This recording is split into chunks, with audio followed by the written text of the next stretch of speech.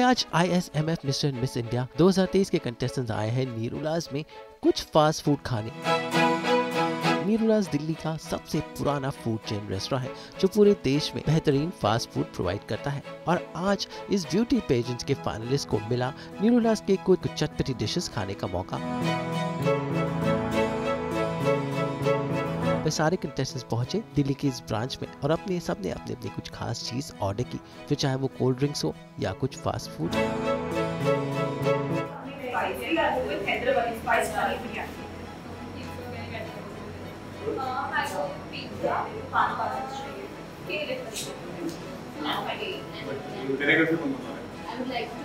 try